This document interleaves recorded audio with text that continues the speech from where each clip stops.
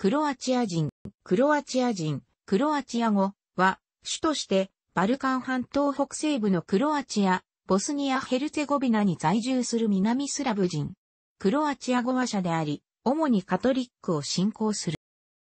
クロアチアのサバ川、ドラーバ川流域、それらの地域より、南のダルマチア地方沿岸部に居住する。1991年当時のクロアチア共和国では、クロアチア人の人口はおよそ373万6千人で、総人口の78%を占めていた。ボスニア・ヘルツェゴビナには約76万人のクロアチア人が住み、アメリカ、ドイツ、オーストラリア、カナダ、アルゼンチンなどの地域にクロアチア移民が生活している。クロアチア人がバルカン半島に移住する前、現在のクロアチア共和国にあたる地域には植民都市を建設したギリシア人、イリュリア人やケルト系の諸部族が居住していた。彼らはローマに征服されて淘汰されるが、後のクロアチア人の民族形成に影響を与えたとする確説も存在する。2世紀から3世紀にかけて、国会北岸からドン、川下流域にかけて居住していたと考えられる民族、ホロアートイは、クロアチア人がかつて自称として用いていたフルベートと関連づけられることもある。10世紀前半に帝国の統治について帝国統治論 De Administrando Imperio を著した東、ローマ皇帝コンスタンティノス7世は、西ウクライナから東、スロバキアにかけての地域に、白、フルベートが居住していたことを記録している。クロアチア人は7世紀から8世紀にかけて、バルカン半島北西部に移住するが、現住地や集団の分類についての定説は存在しない。東ローマ帝国の皇帝、ヘラクレオスがダルマチア地方の防備のためバルカン半島北西部に移住させた民族だと言われている。言語学、資料の記述をもとに、クロアチア人の起源をスラブ人に結びつける説のほか、イラン系民族説、ゴート族説が挙げられている本来は、コーカサス地方に居住していたイラン系のサルマート人が、フン族によって圧迫され、ヨーロッパに移住する中でゴート人やスラブ人を吸収するが、逆にスラブ化されたという説が有力視されている。イラン系民族説では、クロアチア人はサルマート人と結びつけられることが多いが、クルド人との関係を探る試みもなされている。バルカン半島独特のザドゥルカと呼ばれる、家父長制による大家族共同体は、クロアチア人社会にも存在していた。クロアチア人がバルカン半島に移住した7世紀から8世紀にかけてのクロアチアの歴史は、文献資料や考古学的資料の欠如のために不明な点が多い。クロアチア人は、東ローマ帝国とフランク王国の影響下に置かれ、8世紀から9世紀末にかけてアドリア海沿岸部のダルマチアと内陸部のスラボニア、パンノニアに2つのクロアチア人国家が形された。ダルマチアに拠点を置くトルピミル一世は、クロアチア人の皇と呼ばれ、彼の子孫が君臨した王朝は、トルピミロビチアーサと呼ばれるようになった。トルピミルの後継者の中には、非トルピミロビチ家出身の人物と思われる人物がおり、そのうちの一人であるブラニミルはフランク王国からの独立を達成した人物とみなされている。925年頃にダルマチアの皇、トミスラブがクロアチア王として体感され、クロアチア王国が成立した。この時期のクロアチアは12世紀から20世紀にかけて、クロアチアを支配した外国人の国家と対して、民族王朝と表現される。クロアチアは、ローマカトリックと東方正教会の両方の影響下に置かれていたが、9世紀から10世紀にかけて、クロアチア人はカトリックを受容した。クロアチア王、ドミタルズボニミル、在位、1075年から1089年の死後、クロアチア王家と遠赤関係にあったハンガリー王国のアールパード家が、クロアチアの内紛に介入し、1102年にハンガリー王、カールマーン一世がクロアチア王として退官され、ハンガリー統治下のクロアチアとダルマチアには、副王、総督、番が設置された。16世紀前半にクロアチアは、ハプスブルク家が指導するハンガリーとオスマン帝国に分割される。オスマン帝国の統治下で大部分のクロアチア人はイスラム教に改宗し、イスタンブールの宮廷や軍隊で高い地位を得る者も現れた。オスマン帝国の支配を拒絶するクロアチア人は征服を免れた土地に逃れ、あるいはハイドクと呼ばれるオスマン帝国の支配に抵抗する義族として活動した。ハンガリーの支配下に置かれた地域では、封建制に基づく支配が敷かれており、農民の放棄が頻発していた。一方で、ハプスブルク家の統治を通して、ラテン文化、ローマカトリック文化がクロアチアに影響を及ぼし、ラテン文字の普及が進展した。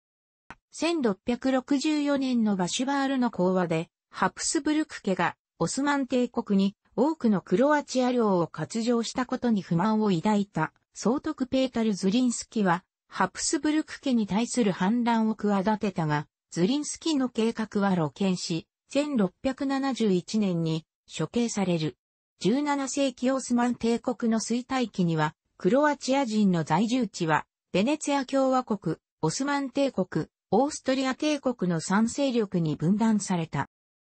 1809年のバグラムの戦いで、オーストリアに勝利したフランスは、サバ川以南のクロアチアを獲得し、イルリア州が設置される。1809年から1813年にかけて、存続したイルリア州は、クロアチアの枠を超える南スラブ人の統合運動に刺激を与えた。イルリア州では、土地の言語による教育が奨励され、初等教育にクロアチア語が使われた。1812年には締め、スタルチェービチによって最初のクロアチア語の文法書である、新イルリア語が刊行された。イルリア州の設置によって、南スラブの統一が進展した反面、オーストリアとフランスによって分断されたクロアチア人は互いに戦うことを余儀なくされる。1830年代から1840年代にかけてクロアチアを中心に展開されたイルリア運動と呼ばれる南スラブ民族の統合を訴える文化、政治的な運動は、クロアチア民族再生の一部を構成している。1835年に、イルリア運動の指導者である、リュデビトガイによってクロアチア語による本格的な新聞と雑誌が刊行され、住民からの反響があったものの、定期購読者の数は少なかった。後期のイルリア運動は、クロアチア人を中心とする大クロアチア主義に変質し、セルビア人、ブルガリア人からは支持されず、クロアチア内でもダルマチアやイストリアのように独立性が高い地方では、イルリア運動の影響は限定されていた。しかし、イルリア運動はクロアチアで、近代市民社会が備えている諸制度や組の創始を促進し、言語、文化的共通点に基づいたクロアチア人としての国民意識を住民に抱かせる講師となる。1848年から1849年のハンガリー革命を鎮圧したヨシプ・イラチチは、クロアチア、スラボニア、ダルマチアを統合する王国を樹立する。1848年3月25日にザグレブで開催された民族会議でクロアチアナショナリズムの根幹となる民族の要求が採択され、同時にイエラチッチがクロアチア総督に選出される。イエラチッチはハンガリーからの自立を試み、故、シュートが樹立した革命政権を打倒する。